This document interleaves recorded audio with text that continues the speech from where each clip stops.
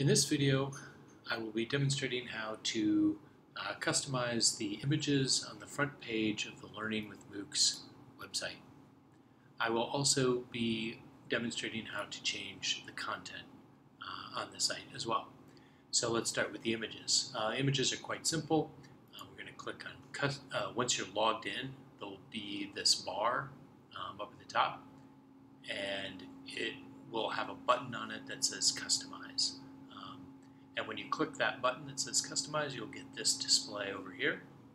And when you, uh, we're interested right now in uh, this area here, and this has uh, a bunch of default images in it right now, uh, these four right here, and they each correspond with one of the sections of the home page. So we got the trees and the trees, and the wood planks correspond with these wood planks here, and our uh, smoky mountain image here, and down a little further, um, and that's it. And then the tools are way down here. Okay, so we got that. So changing them is a simple process. Just click the remove button here, uh, click the change or change uh, image button here, and select a file from somewhere in your file system or somewhere in the media library of the site um, if you upload them uh, through the media manager of the site. Um, one uh, important tip here is that you don't want them to be too huge. Uh, WordPress will not um, resize these uh, automatically for you. So you want to find an image that is about 1600 pixels wide and 1050 uh, pixels tall, and um, and choose that uh, high quality image in that band. But you also don't want it to be too large. Anything over one megabyte, uh, actually anything really over 400 uh, kilobytes is is overkill probably. Um, so try to get them in there. okay, so that's how you change the images out. Um, you can actually also use the um,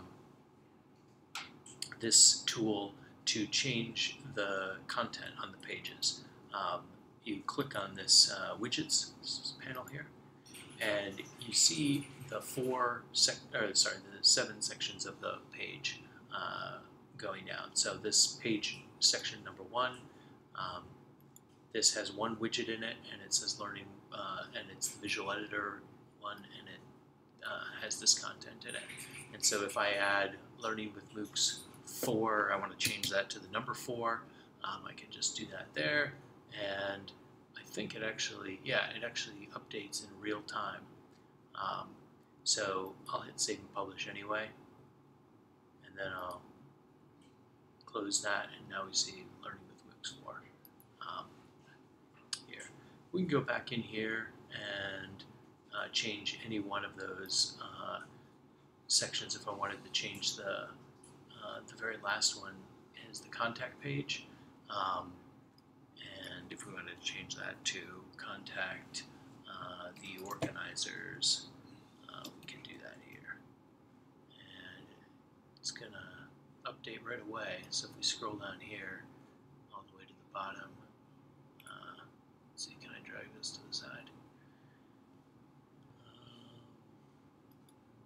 Yeah, contact the organizers. It's already changed there for us. So yeah, pretty simple. Um, and each one of them just has that visual editor, and then it has a great big window with a whole bunch of content in it, which you can change in here. Um, you can use a bunch of the, the, these tools up here. You can add some tools to add uh, some additional editing options here. Um, you can, if you want to do it in HTML, you can switch over to here and write some HTML. But anyway, that's how you do it.